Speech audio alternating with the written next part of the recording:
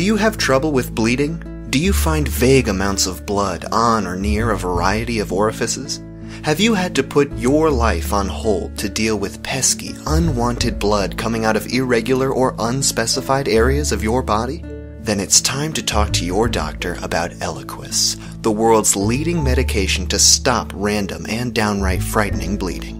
9 out of 10 bleeding physicians agree that Eliquis not only reduces the amount of mysterious blood on your person, but also helps to increase swelling and bruising. Well, it didn't matter where I was. Uh, in bed, in the shower, having sex with my beautiful wife, I would always find small pools of blood on nondescript parts of my body. It was really starting to scare my beautiful wife. So I decided to try Eliquis.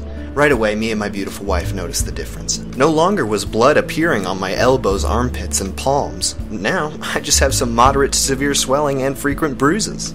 Eliquis reduces bleeding by causing troublesome areas to swell and then bruise. The blood is then forced to a different area where different swelling and bruising prevent that blood from seeping through your skin. Bruising may cause bleeding. Keep swelling down by regularly draining the blood from the swollen areas. If abnormal bleeding occurs, stop draining and bruise the affected area. This will decrease swelling and increase bleeding. Do not take Eliquis with food or drink. Do not take Eliquis before sleeping. Do not take Eliquis if you are pregnant or have ever been pregnant or ever plan to be pregnant. Do not take Eliquis if you are a fatso bongo butt. Do not take Eliquis if it wasn't recommended by a carnival fortune teller. Do not take Eliquis. Do not take Eliquis. Do not take Eliquis. If you're bleeding randomly, you will die. Eliquis. Keep your blood in your body.